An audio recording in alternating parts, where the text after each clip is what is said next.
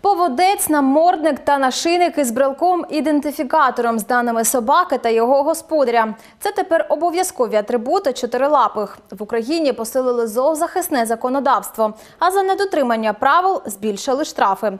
Затвердили й перелік потенційно небезпечних порід собак та зобов'язали їхніх власників застрахуватися від можливої шкоди, яку хвостаті можуть заподіяти оточуючим.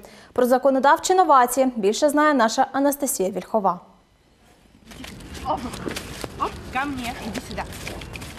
Це Нікіту. Він аргентинський дог. Нікіту опинився в переліку потенційно небезпечних собак. Та господарка каже, характер собаки миролюбний, а подекуди навіть дитячий. Якщо спати, то тільки з хазяйкою в обіймах. Я знаю, какая моя собака. Я знаю заранее, на кого и как он реагирует.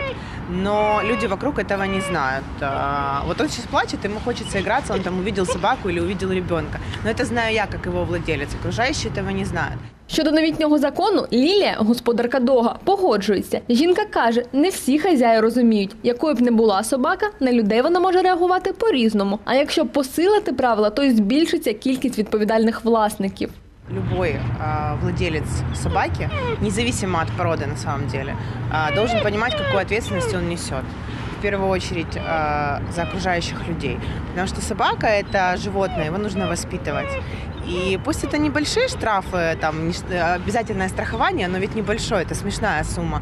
Но хотя бы люди уже будут понимать, что за это есть какая-то юридическая ответственность. Повідці не більше 20 метрів, намордники, ідентифікатори та страхування. Це заради безпеки громадян, запевняють автори закону. Анна, мати двох дочок, радо сприйняла новину. Каже, дуже переймається, коли бачить чотирилапих без додаткової амуніції. Конечно, я всегда опасаюсь. Если я вижу даже издалека большую собаку без намордника, я обойду, а, если с детьми иду, да, потому что, ну, я не знаю, что ожидать от этой собаки. Поэтому это неадекватно так говорить, что не бойтесь, моя собака не кусает. Наденьте на нее намордник, тогда я не буду бояться, да, что она укусит моих детей.